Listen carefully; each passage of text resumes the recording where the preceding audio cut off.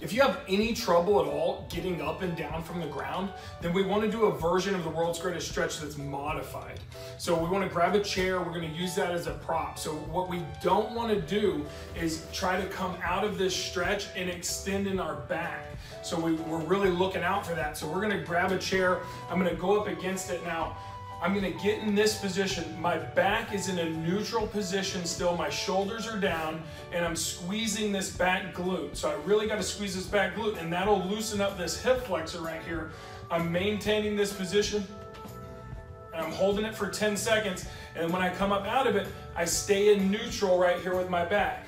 Stand all the way up and then I'll reach back with the other leg and I squeeze that back glute. I'm not allowing myself to come up into extension. That would be bad. So I'm allowing my chest to come down. You can put your, your arm on your leg right here and I can squeeze it, but I'm just not going up into extension and I'm not changing the angle of my back at all. I'm squeezing for 10 seconds, holding that glute. We're gonna do three of them on each side and you should be able to stay in neutral when you come up and out of it. But that's how we're gonna loosen up our hip flexors loose, getting some more hip mobility and really activate our glute. If you can't fire your glute very well, just look for one of our next videos. We're gonna talk about a hip hinge squat. We gotta start firing our glutes really well to protect our back. So now you try it.